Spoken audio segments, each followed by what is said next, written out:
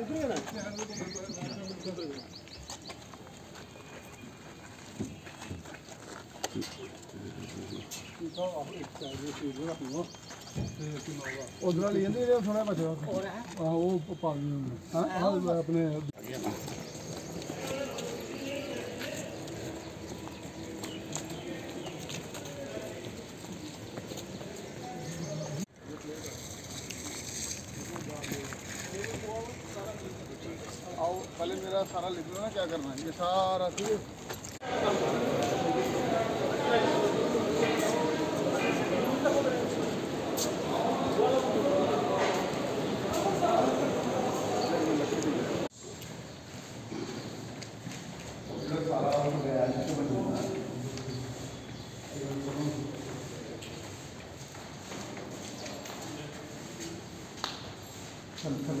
है पूरा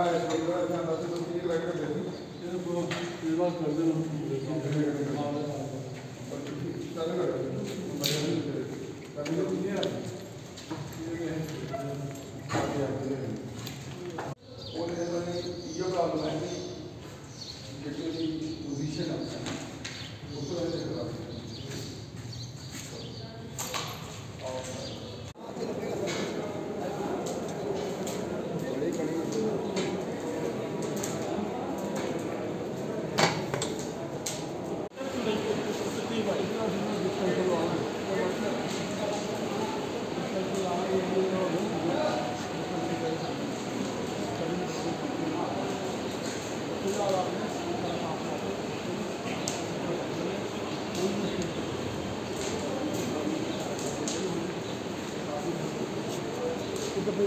हमें बताओ अगर आप नहीं लेते नहीं आप अपना घर से अंडर सोलर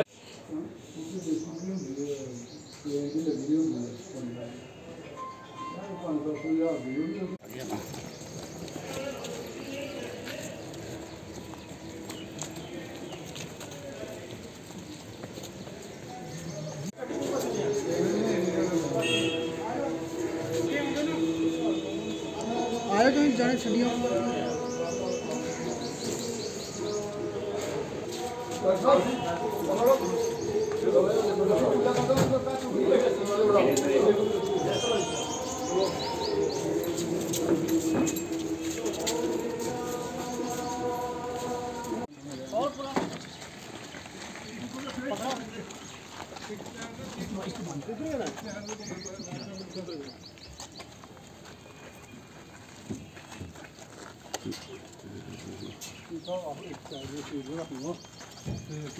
उधर वाली ਇਹਦੇ ਜਿਹੜਾ ਥੋੜਾ ਬਚਿਆ ਆਹ ਉਹ ਪਾ ਗਈ ਹਾਂ ਆਹ ਆਪਣੇ हमने जो इलेक्ट्रिक क्रीमेटोरियम है उसकी इंस्पेक्शन की और जब उसकी इंस्पेक्शन कर रहे थे कि उसमें एक बाउल रहता है जहाँ अस्थियाँ कलेक्ट होती हैं तो जब उसको घुमाया तो उसमें कुछ अस्थियाँ पड़ी हुई थी कब से थी कोई पता नहीं है उसमें तो फिर ध्यान में ऐसे आया कि ये अस्थियाँ जो हैं, इनको, इनका विसर्जन करना है।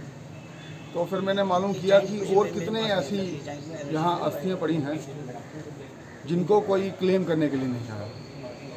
तो आज ये गठरी बना के यहाँ रखी हैं। सौ के करीब ऐसी अस्थियाँ हैं,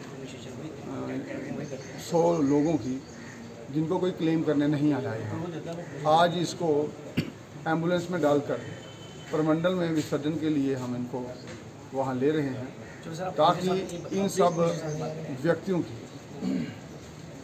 हिंदू धर्म के अनुसार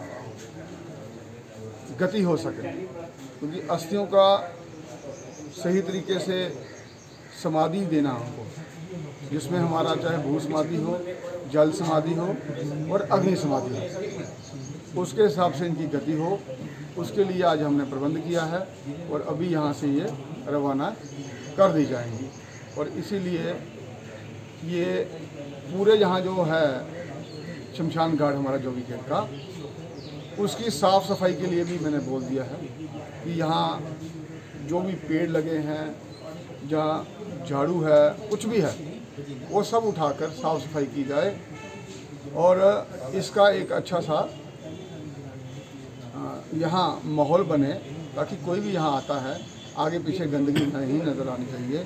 और यही सबसे ज़्यादा पवित्र स्थान है। इससे ये हमारा वो स्थान है जहाँ हमने अंत के समय में आना होता है। और इसको हमें पूरा साफ़ सफ़ाई से रखना है। और जो हमारे वो हैं जिसमें हम शव को उठा के लाते हैं, वो वाला बेड, वो भी मैंने निर्देश दिए हैं कि वो स्टील के बना दिए जाएँ।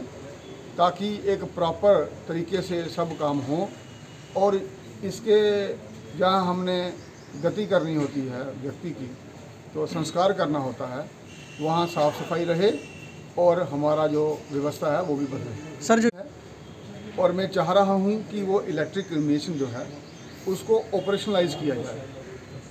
वो सभी तरीके से सुचारू है।